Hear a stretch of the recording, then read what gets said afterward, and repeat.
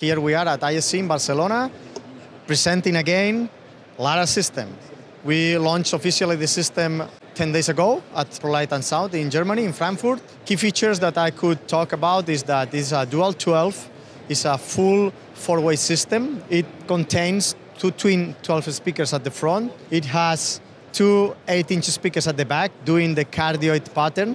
If we compare the pressure level at the front, at the back, we more or less are achieving a reduction in sound pressure level of more or less 14 to 15 dB at the back.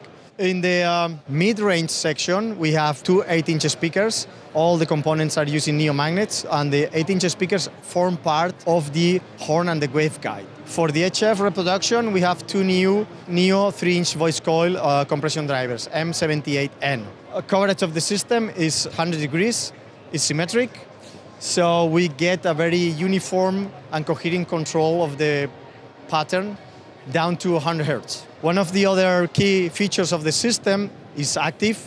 It's containing an amplifier, and um, one of the key factors here is that we are here with a big, big platform of power, providing huge amount of dynamic range, okay?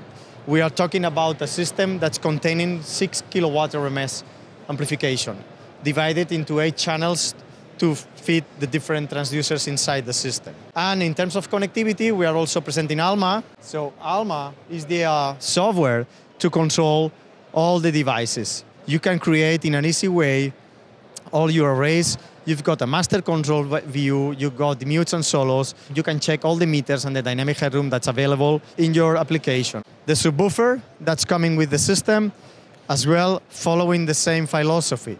It's active, it's included rigging hardware, and of course, it's cardioid.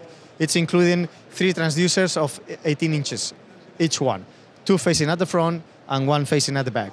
Also compatible with Lara, you can rig on an independent cluster using the, the same rigging bumper, and of course, it's using Alma for, for networking purposes. Okay, so basically, more or less, these are the main features of Lara system.